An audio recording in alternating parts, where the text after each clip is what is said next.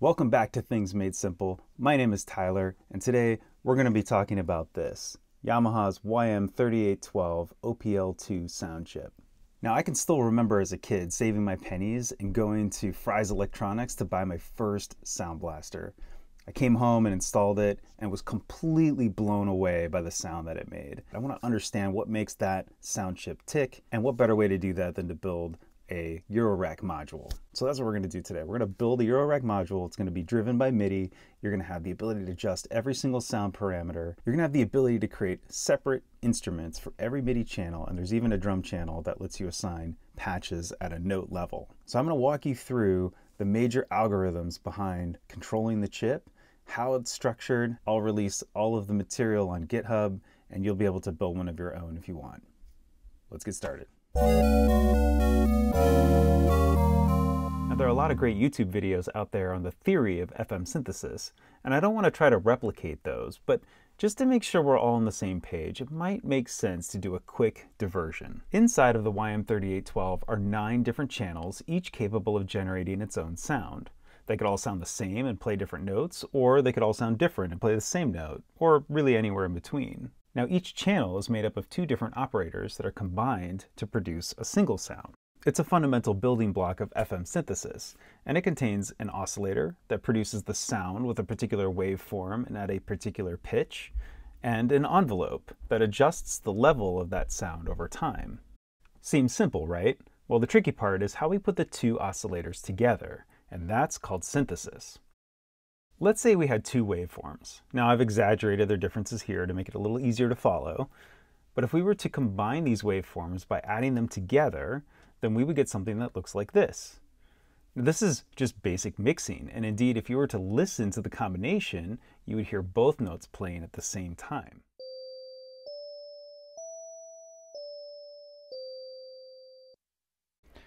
Now let's try combining these waves together through frequency modulation. Because our two waves now have different roles, we have to call them different things. In this case, the modulator wave changes the frequency of the carrier wave. As the modulator wave goes up and down, the frequency increases and decreases. When the modulating wave is at a low frequency, you get something that sounds like vibrato. But when the modulator is at an audible frequency, the resulting combination has its own unique timbre. In this example, we're using the YM3812 to create a sine wave and have it modulate another sine wave. The modulation quickly increases and then slowly diminishes because of the envelope that's controlling the amount of modulation.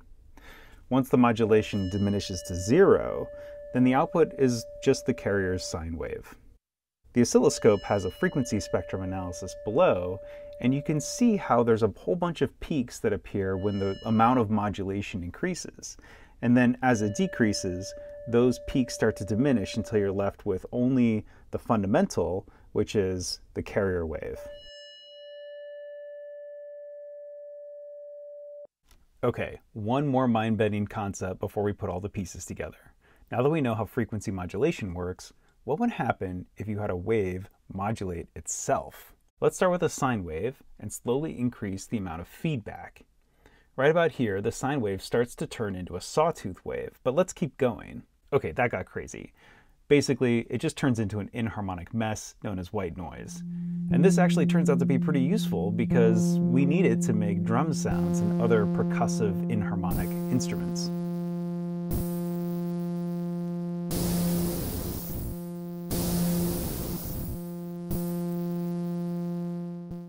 These operations are usually indicated with a plus for mixing or a multiplication for frequency modulation. Feedback on an operator is shown with an arrow looping back on itself. And well, since the YM3812 only has two operators per channel, it turns out there's only those two ways of combining the operators together. The YM2151, though, for example, has four operators per channel, and they can be combined together in eight different algorithms, allowing for lots of variation and complexity in the sound. Those are the basics of FM synthesis. Now let's see how this gets represented in the registers of the chip.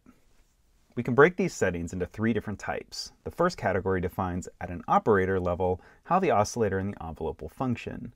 Oscillator settings include things like waveform or detuning, vibrato, that kind of stuff, where the envelope settings affect things like attack, decay, sustain, and release.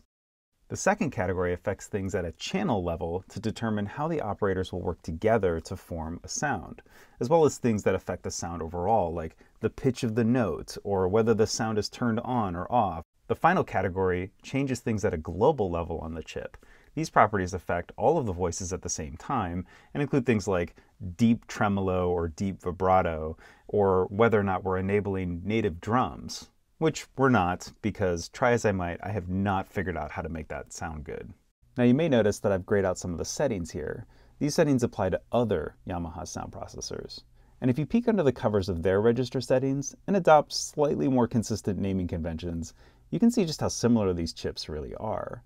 Perhaps there's some opportunity in the future to create a generic sound patch that could be used across all of the YM sound chips. But we'll leave that for a future video. Now all of these settings are stored in memory locations inside of the chip called registers. The memory locations go from address 0 through 255, or FF in hexadecimal. And each register holds an 8-bit value, also between 0 and 255. Now this chip can store 279 different pieces of information, but of course there are 255 slots. So instead of letting every setting consume a full 8 bits of space, they decided to squeeze multiple settings into every byte. For example, let's say we took a peek at memory location 41 and found the value 4C. This value actually represents two different settings, and to find them, we have to break up the number into its eight individual binary bits. Here, the two bits in green correspond to operator number 2's level scaling setting, and the other six bits control its total level setting. Of course, the number of bits associated with a setting is going to affect the maximum value that you can use. So level scaling has to be set to something between 0 and 3. But because it has more bits, total level could be set to anything between 0 and 63. Now that's one register, but there are literally hundreds. I think we're going to need a map. The global settings are located in the first 9 bytes of memory, plus this one setting at address BD. They mostly control general chip settings along with flags for deep tremolo, deep vibrato, drums, etc. The columns on the left of this chart show exactly how each of the bits of the register on the right get broken up into its individual settings. For example, bit 5 of location BD is a 1-bit flag that turns on or off the rhythm mode. Because there are 9 channels, there are nine instances of each type of channel register. In other words, each channel gets its own memory location for the settings that are shown on the left side of the chart. So if I wanted to modify the feedback property of channel 2, I would be editing bits 1 through 3 of memory location C1. Similarly, there are nine pairs of operators, with each pair aligned to a different channel. Now these memory addresses are a little funky in that their locations are always 3 bytes apart. So for example, channel 1 of this first row of settings is stored at address 20 and 23, while channel 2 uses address 21 and 24, and then 3 uses 22 and 25, and then inexplicably we skip 26 and 27, and then channel 4 uses 28 and 2B. There's actually another skip later between channel 6 and 7 where we skip memory locations 2E and 2F and go straight to 30.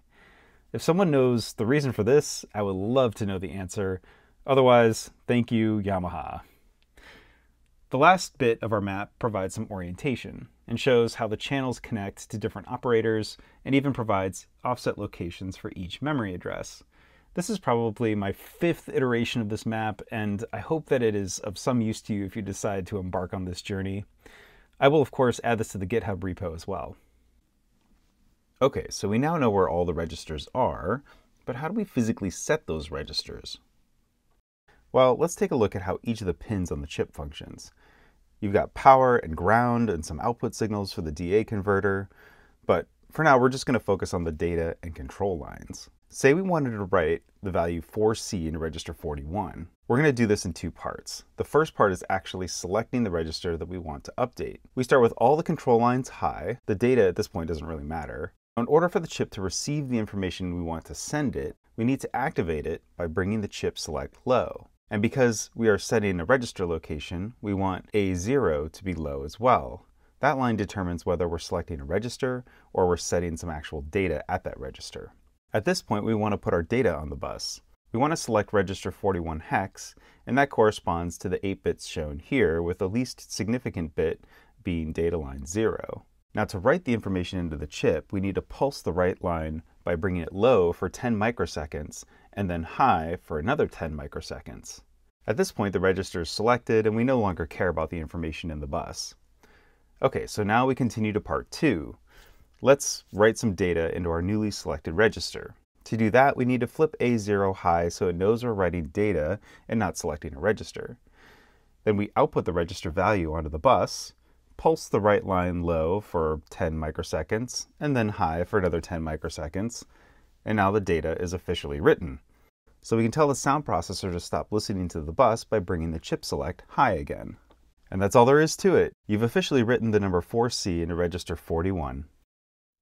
At this point, you've got all the tools you need to control the YM3812 or really any Yamaha FM synthesis chip. I'll link in the description to some of the artifacts that we talked about, including the register map and the timing diagram, in case you guys want to dig into it further. Over the next few videos, and I'm not really sure how many videos this is going to take, but we're going to dig into some of the other algorithms associated with the project. We'll talk about the most obvious way of structuring a data structure or class around this chip and why it's probably not the best way, uh, and maybe some other ways that we can improve it to make it a little bit better. So then we'll go through the hardware and I'll walk you through the schematic, the PCB layout, and of course we'll build the module.